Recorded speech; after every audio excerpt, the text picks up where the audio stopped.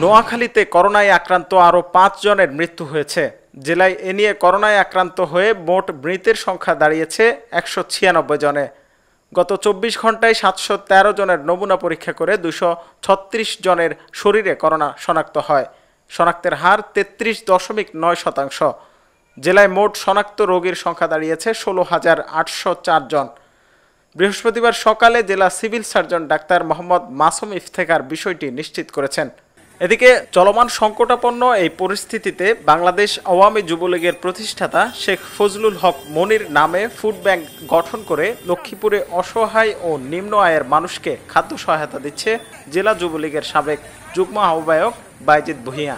এ কর্মসূচিতে আজ বৃহস্পতিবার ভ্রাম্যমাণ গাড়িতে করে লক্ষ্মীপুর সদর ও রায়পুর উপজেলায় প্রায় পাঁচ শতাধিক পরিবারের মাঝে রেশন কার্ডের মাধ্যমে চাল, ডাল, আলু, লবণ সহ বিভিন্ন খাদ্য সামগ্রী বিতরণ করেন তিনি।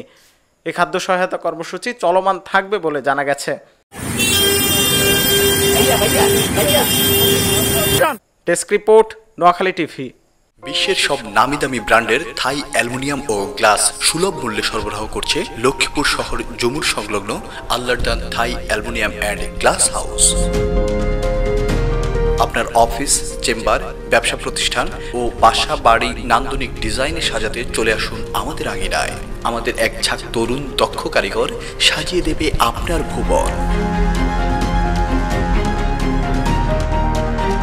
এছাড়া আমাদের রয়েছে আল্লাহদান গ্রিল ওয়ার্কশপ এবং ইট বালু সরবরাহ কেন্দ্র।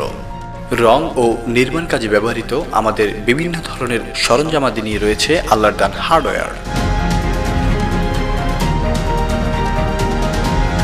আমরা খুবই বিশ্বস্ততার সাথে লক্ষ্মীপুর জেলা সহ দেশের বিভিন্ন অঞ্চলে কাজ করে থাকি। আল্লাহ দান থাইলমিনিয়াম আল্লাহ দান হার্ডওয়্যার আল্লাহ দান গ্রিল ওয়ার্কশপ আল্লাহ দান রড সিমেন্টের ব্যবসা। আমাদের প্রত্যেকটা প্রতিষ্ঠানে আমরা ন্যায্য মূল্যে মালামাল বিক্রি করে থাকি। তাই আমাদের সকল সেবা পেতে আজই চলে আসুন Allahdan Thai aluminium and glass হাউসে।